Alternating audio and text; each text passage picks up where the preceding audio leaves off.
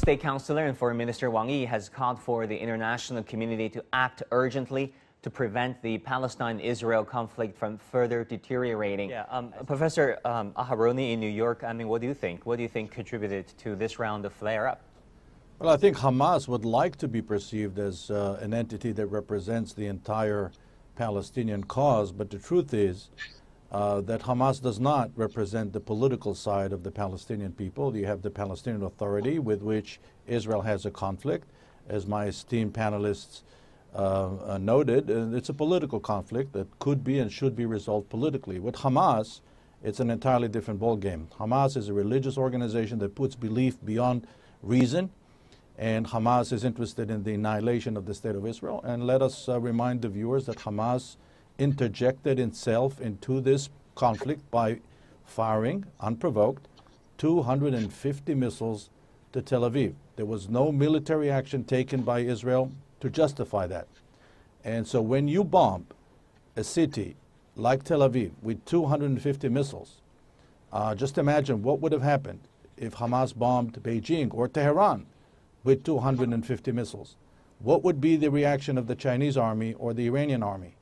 And so I think that the whole discussion about the Israeli Palestinian conflict uh, has very little to do with the aspirations of Hamas to turn this into a religious conflict rather than a political conflict. Yeah, we certainly have different uh, perspectives there. Do you think uh, Biden's uh, proposals and position on this round of conflict uh, has been faring so far? I think it's a very positive initiative. I think it's, uh, it should be welcomed by uh, all parties. And we have to remember that the Palestinians um, uh, never accepted any proposal for compromise. They rejected the Bill Clinton plan in the summer of 2000. Um, they rejected Ariel, Ariel Sharon basically handed over the Gaza Strip to the Palestinians in the summer of 2005. Look what they did. Instead of turning it into the Singapore the Middle East, they turned it into a launching pad of repeated attacks against Israel. And of course, uh, the Palestinians rejected the Ehud Olmert plan of 2008. So um, I think that uh, what China should do is uh, uh, make sure that the Palestinians, certainly not Hamas, Hamas, uh, it should be noted here to our esteemed colleagues as well that seem not to realize that Hamas is recognized as a terrorist organization by China as well, not just by Israel, not just by the United States, even by the United Nations. And so Hamas is not a party for that.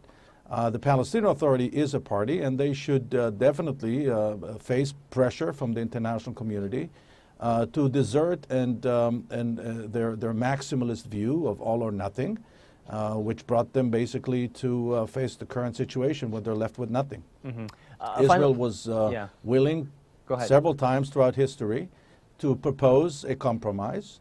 And um, you have to ask yourself a very simple question. Have you ever seen a Palestinian peace plan? Doesn't exist. There was an American peace plan, was an Israeli peace plan, never was a Palestinian peace plan. And you have to ask yourself why.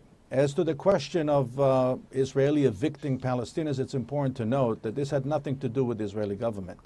Uh, this was a, an Israeli nonprofit. You can say the nonprofit was immoral, using um, legal warfare, which is uh, unethical, but it's 100% legal and had nothing to do with Israeli government. In fact, the Palestinians use the Israeli court system. Uh, in many cases, they win uh, the court cases. In this case, they lost the court case, but has nothing to do with Hamas.